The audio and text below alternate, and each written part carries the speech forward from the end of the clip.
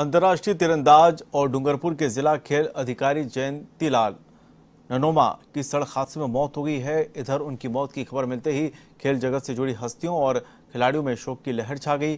जानकारी मिली है कि अंतर्राष्ट्रीय तीरंदाज ननोमा साथी फलोज स्कूल के शारीरिक शिक्षक कांतिलाल के साथ बांसवाड़ा से लौट रहे थे। इसी दौरान सागवाड़ा रोड पर बड़दा थाने से आगे निकलते ही पुलिया के पास उनकी स्कॉर्पियो कार अनियंत्रित होकर पलट गई। हादसे में उनके सर में गंभीर चोट लगी और खून ज़्यादा बहने लगा। उसके बाद पुलिस ने जयंती लाल और कांतिलाल दोनों को सागवाड़ा के एक निजी अस्पताल में भर्ती कराया, लेकिन जयंती लाल की हालत नाजुक होने से उदयपुर के लिए रेफर किया गया, जहाँ इलाज के दौरान उनकी मौत हो गई।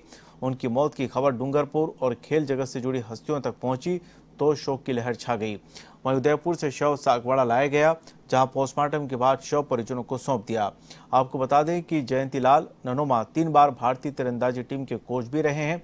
2013 में वे पहली बार भारतीय तीरंदाजी टीम के कोच बने, फिर 2015 में दूसरी बार टीम के कोच बने और उसके साथ ही 16 तीरंदाजों की टीम साउथ अमेरिका के कोलंबिया में आयोजित वर्ल्ड कप तीरंदाजी स्पर्धा में भाग लेने गई थी। उसके बाद 2018 में तीसरी बार फिर भारतीय टीम के कोच बने।